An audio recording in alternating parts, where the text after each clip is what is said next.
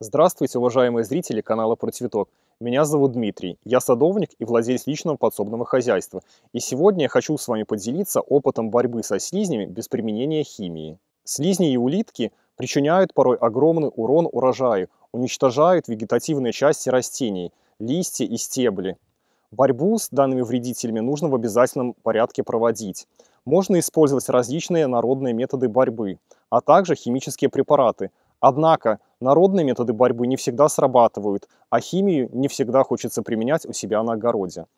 И я хочу поделиться с вами несколькими действенными методами борьбы. Первый способ – это мульчирование грядок крапивой.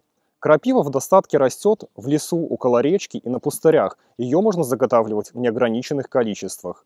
Крапива я мульчирую грядки с капустой. Застилаю слой мульчи примерно 10-15 сантиметров. Слизни и улитки ранят о крапиву свое брюшко и уползают с грядок, а еще им не нравится запах крапивы. Кроме того, мульча из крапивы отлично защищает грядки от сорняков и сохраняет влагу в почве.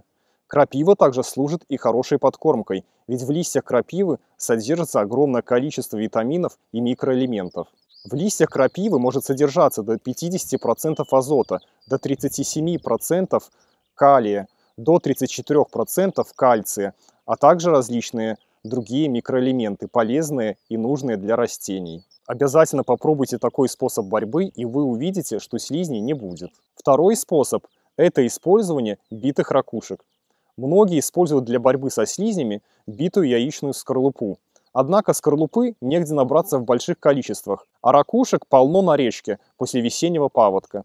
Их можно пойти и насобирать в больших количествах, ведро, два и даже 10, сколько угодно.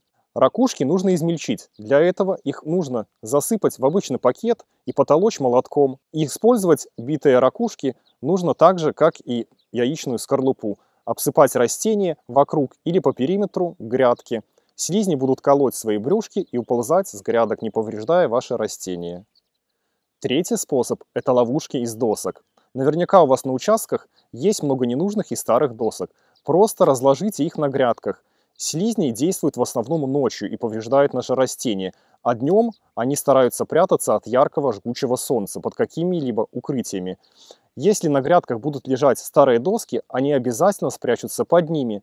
Днем можно доски приподнять и собрать без проблем вредителей. Все перечисленные способы являются экологичными и не требуют применения какой-либо химии. Не нужно тратить денежные средства на различные препараты. Спасибо за внимание и до новых встреч! Thank you.